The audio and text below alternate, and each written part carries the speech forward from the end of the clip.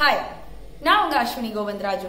இன்னைக்கு இந்த வீடியோல ரொம்பவே ட்ரெண்டிங்ல இருக்க ஒரு டாபிக் பத்தி தான் நம்ம பேச போறோம். நம்ம ஃபேஸ்புக் வாட்ஸ்அப் யூடியூப் எல்லா இடத்துலயுமே ரொம்ப பரவலா பேசப்பட்டு ரொம்ப ப்ரிடாமினா டிஸ்கஸ் பண்ணப்பட்ட ஒரு விஷயத்தை பத்தி தான் இந்த வீடியோல பார்க்க போறோம். ஆமா it is nothing less than the Falcon Heavy test launch so இந்த ஃபால்கன் ஹெவி டெஸ்ட் லான்ச் எந்த அளவுக்கு ஒரு பெரிய விஷயம் அப்படின்றத நம்ம டிஸ்கஸ் பண்ண போறோம். எதனால உலகமே இதை கொண்டாடுது அப்படின்றத பத்தி நம்ம டிஸ்கஸ் பண்ண போறோம். இலான் மஸ்கோட ஃபியூச்சரிஸ்டிக் விஷன் எந்த அளவுக்கான ஒரு மாற்றத்தை இந்த சமுதாயத்துல விட்டுட்டு போக போகுது அப்படின்றத நம்ம பார்க்க போறோம்.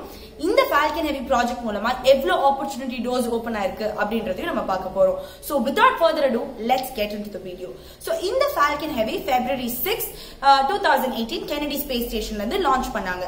என்ன இதுல ரொம்ப ஸ்பெஷல் அப்படின்னு பாத்தீங்கன்னா இது வரைக்கும் ஸ்பேஸ் எக்ஸ்ப்ளோரேஷன் ஹிஸ்டரியிலேயே கவர்மெண்ட் ஆர்கனைசேஷன்ஸ் மட்டும் தான் ராக்கெட்ஸ் லான்ச் பண்ணிருக்காங்க டெஸ்ட் லான்ச் கூட வெறும் கவர்மெண்ட் ஆர்கனைசேஷன்ஸ் தான் பண்ணிருக்காங்க இந்த கவர்மெண்ட் ஆர்கனைசேஷன்ஸ் எந்த மாதிரி ஆர்கனைசேஷன்ஸ் பாத்தீங்கன்னா நம்ம இந்தியால இஸ்ரோ அப்புறம் அமெரிக்கால நாசா அத மாதிரியான ஆர்கனைசேஷன்ஸ் கவர்மெண்ட் கையில இருக்கிற ஆர்கனைசேஷன்ஸ் மட்டும் தான் பண்ணிருக்காங்க ஆனா இந்த ஃபால்கன் ஹெவின்ற ஒரு ராக்கெட்டை லான்ச் பண்ண கம்பெனி வந்து ஒரு தனியார் நிறுவனம். ஒரு கமர்ஷியல் பர்பஸ்க்காக ஒரு பிரைவேட் கம்பெனி லான்ச் பண்ண ஒரு ராக்கெட் தான்.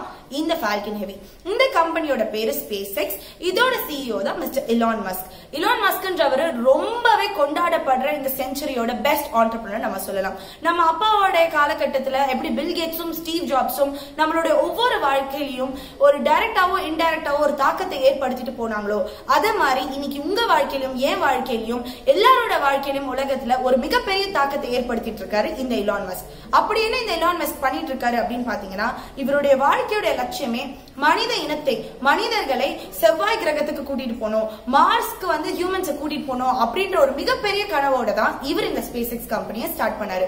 இவர் முதல்ல இதை பத்தி வெளி உலகத்துக்கு சொல்லும் போது மக்கள் இவரை லிட்ரலா பைத்தியக்காரன் அப்படின்னு சொன்னாங்க. பார்த்து சிரிச்சாங்க. நீல் ஆம்ஸ்ட்ராங் அந்த மாதிரியான மிகப்பெரிய forerunners in space history space எக்ஸ்ப்ளோரேஷன்லாம் Elon Musk doesn't know what he doesn't know அப்படின்ற மாதிரி ரொம்ப எலி நகையாடி இருக்காங்க ஆனா இலான் மஸ்க் தன்னுடைய கனவுகளை யாருக்காகவும் விட்டு கொடுக்கல. அதோட ஒரு மிகப்பெரிய மேனிஃபெஸ்டேஷன் தான் இந்த ஃபால்கன் ஹெவியோட லான்ச் அப்படின்னு நான் சொல்லுவேன் சரி Falcon Heavy why so special அப்படின்னு நீங்க கேட்கலாம். சோ ஃபால்கன் ஹெவி மூணு ரீசன்ஸ்க்காக ரொம்பவே special number one is that it is termed as the most powerful rocket in space exploration history yes நீங்க கேட்டது சரிதான். இந்த உலகத்திலே இது வரைக்கும் விண்ணில செலுத்தின ராக்கெட்ல மிகவும் பவர்ஃபுல்லான ராக்கெட்னு இந்த ஃபால்கன் சொல்றாங்க. எதனால அப்படின்னு பாத்தீங்கன்னா இது வரைக்கும் ஏர்த்தோட ராக்கெட்ஸ் ஏர்த்ல இருந்து புறப்படுற ராக்கெட்ஸ் வந்து பூமியோடைய டிஃப்ரெண்ட் லேயர்ஸ் ஆஃப் அட்மாஸ்பியர்ஸை கிராஸ் பண்ணும். ஸ்ட்ராட்டோஸ்பியர் ட்ரோபோஸ்பியர் ஐனோஸ்பியர் அது மாதிரி டிஃப்ரெண்ட் லேயர்ஸ் இருக்கு. அது மாதிரி லோவர் ஏர்த் ஆர்பிட்டை கிராஸ் பண்ணும்போது இது வரைக்கும் எடுத்துட்டு போன எல்லா ராக்கெட்ஸுமே பேலோட்ஸ் வந்து அந்த ஹெவி அந்த வெயிட் எவ்வளவு இருக்கும்னு பாத்தீங்கன்னா இருபத்தி ரெண்டாயிரம் கிலோகள் மட்டும் தான் அதால எடுத்துட்டு போக முடிஞ்சது. ஆனா இந்த Falcon Heavy sixty five thousand kgs weight உள்ள வெயிட்ட தன்னகத்தை கொண்டு விண்ணில செலுத்திருக்காங்க அதாவது லோவர் எர்த் ஹாபிட்ல கிராஸ் பண்ண ஒரு மிகப்பெரிய ஹெவியஸ்ட் ராக்கெட் அப்படின்னு இதை சொல்றாங்க. சோ இது ஒரு ரீசன் இது ரொம்ப ஸ்பெஷல் ஆக்கி இருக்கு ஏன்னா it can carry lot of weight taken to space number two என்னன்னு பாத்தீங்கன்னா இதே மாதிரியான ஒரு ராக்கெட்டை நாசா செய்யணும் அப்படின்னு நினைச்சாங்கன்னா அதுக்காக அவங்க கொடுக்குற எஸ்டிமேட்டட் பட்ஜெட் எவ்வளவுன்னு பாத்தீங்கன்னா ஃபோர் ஹண்ட்ரட் மில்லியன் டாலர்ஸ் ஆனா இத ஃபால்கன் ஹெவி லான்ச் பண்ண இந்த மொத்த பட்ஜெட் எவ்வளவுன்னு பாத்தீங்கன்னா வெறும் நைன்டி மில்லியன் டாலர்ஸ்ல முடிச்சிருக்காங்க. இதுவுமே ஒரு மிகப்பெரிய சக்சஸ் அதாவது நாட் ஈவன் ஒன் டென்த் அப்படின்னு சொல்றாங்க. இன்னுமே செலவாகும் ஃபால்கன் ஹெவியை லான்ச் பண்ணியிருந்தா வேற ஒரு கவர்மெண்ட் ஆர்கனைசேஷன் லான்ச் பண்ணியிருந்தா அப்படின்னு சொல்றாங்க.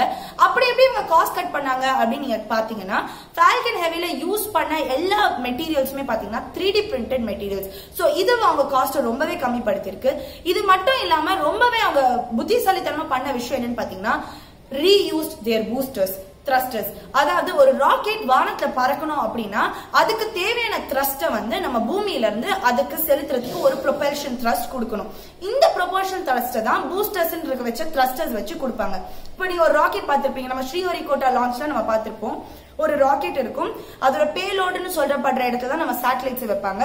சைட்ல ரெண்டு த்ரஸ்டர்ஸ் இருக்கும். நடுவில் மிடில் கோர் இருக்கும். இந்த த்ரஸ்டர்ஸ் வந்து வானத்துல அவங்க செலுத்தினதுக்கு அப்புறம் எப்படின்னா ராக்கெட்டை கொண்டு போய் அது ஸ்பேஸ்ல விட்டோன்னே இந்த த்ரஸ்டர்ஸ் கடலுக்குள்ள விழுந்துரும். இதுதான் நம்ம சின்ன வயசுல இருந்து படிச்சிருக்கோம். இலான் மஸ்க் இதை தான் மாத்தி அமைச்சாரு. ஏன் இந்த த்ரஸ்டர்ஸை நம்ம ரீயூஸ் பண்ணக்கூடாது அப்படின்னு சொல்லிட்டு இவர் வச்சிருக்க இந்த ரெண்டு பூஸ்டர்ஸுமே அதாவது ஃபால்கன் ஹெவியோட அனுப்பப்பட்ட ரெண்டு பூஸ்டர்ஸும் ஒரு பர்டிகுலர் லிமிட்க்கு அப்புறம் ஏர்த்தோடைய கிராவிடேஷனை தாண்டினதுக்கு அப்புறம் அந்த மிடில் கோர் ஸ்பேஸ்ல செலுத்தப்பட்டதுக்கு அப்புறம் அந்த ரெண்டு பூஸ்டர்ஸும் ராக்கெட்ல இருந்து டிட்டாச் ஆகி திரும்பவும் பூமியை வந்து சேர்ந்துச்சு. அதுதான் நம்ம வாட்ஸ்அப்ல எல்லாம் பார்த்தோம் ஒரு பியூட்டிஃபுல் வீடியோ அதாவது ராக்கெட் திரும்பவும் லான்ச் பேட்ல வந்து நிக்கிற மாதிரியான அந்த த்ரஸ்டர்ஸ் வந்து லான்ச் பேட்ல நின்னு நின்னுச்சு கேப் கேனவரில் இது மட்டும் இல்லாம அவங்க மிடில் கோரையும் அதே மாதிரி தான் பிளான் பண்ணியிருந்தாங்க. பேலோடு அதை லான்ச் பண்ணிட்டு மிடில் கோர் வந்து ஒரு அவங்க போட்டிருந்த ட்ரோன் மாதிரியான ஒரு அமைப்புல தண்ணியில ஒரு லான்ச் பேட் கட்டியிருந்தாங்க. அங்க வந்து விழும் எதிர்பார்த்தாங்க. இந்த மொத்த ப்ராஜெக்ட்லயே ஒரே ஃபெயிலியர் அது மட்டும் தான். அவங்க எக்ஸ்பெக்ட் பண்ண இடத்தை விட பத்து கிலோமீட்டர் தள்ளி அது தண்ணிக்குள்ள விழுந்துருச்சு. மத்தபடி போன ரெண்டு த்ரஸ்டர்ஸும் பூமிக்கு வந்துருச்சு. அண்ட் இதுல இன்னொரு ஃபன்னியான விஷயம் என்னன்னு பாத்தீங்கன்னா இது வரைக்கும் பேலோட்ஸா நம்ம சேட்டலைட்ஸையும் மனிதர்களையும் அப்புறம் விலங்குகளையும் அமைச்சிருக்கோம். ஆனா இலான் மஸ்க் வந்து ஒரு மிகப்பெரிய மார்க்கெட்டியர் நான் சொல்லுவேன். ஏன்னா அவர் ஓன் பண்ற இன்னொரு பெரிய கம்பெனி என்னன்னு பாத்தீங்கன்னா டெஸ்லா மோட்டார்ஸ் சோ இந்த டெஸ்லா மோட்டார்ஸ் நம்ம எல்லாருமே கேள்விப்பட்டிருப்போம். எலக்ட்ரிக் கார்ஸை வந்து இந்த உலகத்துக்கு அறிமுகப்படுத்தின பிளகின் காசை அறிமுகப்படுத்தின ஒரு ஃபோர்ட் ரன்னிங் கம்பெனி சோ இந்த கம்பெனியோட ரோட்ஸ்டர்னு சொல்லப்படுற இலான் மஸ்கோட செரி ரெட் கலர் காரை அவரு பேலோட காமிச்சாரு ஃபால்கன் ஹெவியோட அண்ட் இந்த ஃபால்கன் ஹெவியோட வந்து ஆஹ், அதோட ஒரு மேன்கின் வச்சிருந்தாங்க ஸ்டார் மேன் அந்த ஸ்டார் மேன் மேன்கினோட அந்த காரை வந்து மார்ஸோட ஆர்பிட்ல லான்ச் பண்ணிருக்காங்க and it is moving at thrust of hundred kilometres per horn சொல்லியிருக்காங்க. சோ ஒருவேளை இலான் மஸ்கோட கனவு நிற நிஜமாச்சுன்னா மனிதர்கள் எல்லாமே மாஸ்க்கு போகக்கூடிய ஒரு நிலைமை வந்துச்சுன்னா அங்க இலான் மஸ்கோட ரோஸ்டர் கார் நம்மளுக்காக வெயிட் பண்ணிட்டு இருக்கோம்னு கூட நம்ம சொல்லலாம்.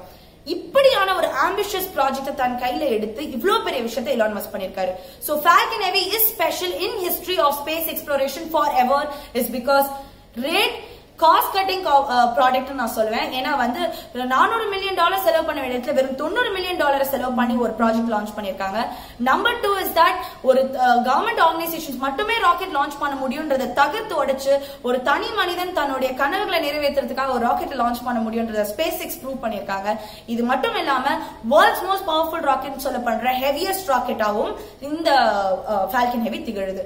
ஸோ இந்த மூணு ரீசன்ஸ்க்காக தான் Falcon Heavy is always special Elon மஸ்க்ன்றவர் இந்த நூற்றாண்டுல வாழ்ற நம்ம கூட நம்மளோட சாதாரணமா வாழ்ந்துட்டு இருக்க ஒரு மனிதர் அப்படின்னு நான் சொல்வேன். இவருடைய வாழ்க்கை வரலாறு ஒரு மிகப்பெரிய இன்ஸ்பிரேஷன் சோ அதை பத்தி அப்கமிங் வீடியோஸ் ஒன்றுல பார்ப்போம்.